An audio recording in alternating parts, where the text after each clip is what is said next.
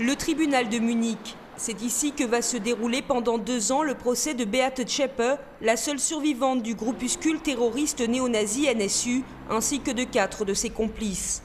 Les médias turcs, exclus dans un premier temps du procès, faute de place dans la salle d'audience, ont porté plainte devant la Cour constitutionnelle pour y assister. Ils ont obtenu gain de cause. C'est important car 8 des 10 victimes étaient d'origine turque. Nous voulons pouvoir informer nos lecteurs sur ce procès. et c'est leur bon droit, après tout, d'être informés dans leur langue maternelle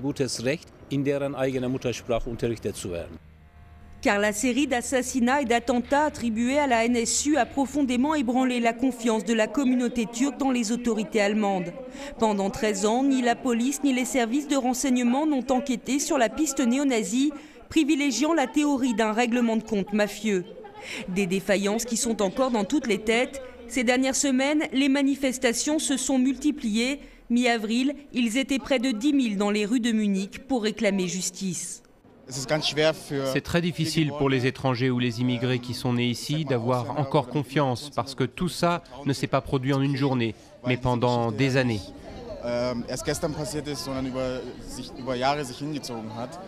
Ce qui est particulièrement bouleversant, c'est qu'on en apprend tous les jours sur les défaillances. Et chaque fois, on se dit, mon Dieu, comment est-ce possible que l'on ne l'ait pas su? Pourquoi est-ce que ça ne sort que maintenant?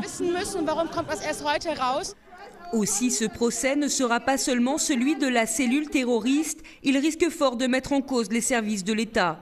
Cette carte interactive recense tous les crimes commis par la NSU et d'autres néo-nazis. Elle met en évidence leur présence sur l'ensemble du territoire. Pour cette ONG qui enquête sur l'extrême droite, les autorités ont tout simplement ignoré cette menace. On voit aujourd'hui que tout ce dont nous avons mis en garde est bel et bien arrivé.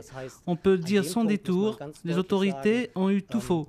Elles n'ont pas compris comment le milieu néo-nazi était structuré et quelle était leur véritable idéologie.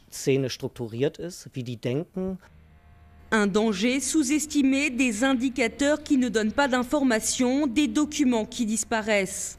Ces multiples fiascos ont coûté son poste au chef des services secrets l'année dernière, mais de nombreuses zones d'ombre demeurent. Aujourd'hui, les familles veulent connaître toute la vérité. Que savaient les services de renseignement sur la cellule? Avaient-elles d'autres complices, voire même des soutiens dans les organes de sécurité? Nous ne croyons pas à la théorie selon laquelle il s'agissait d'une petite cellule terroriste de trois ou quatre personnes. Dans un État comme l'Allemagne, aussi bien structuré et organisé, il est impossible que des terroristes puissent vivre cachés pendant 13 ou 14 ans. C'est impossible.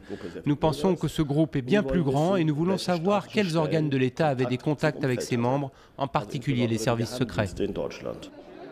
La justice allemande parviendra-t-elle à répondre à toutes ces questions et à rétablir la confiance des citoyens d'origine turque? C'est tout l'enjeu de ce procès.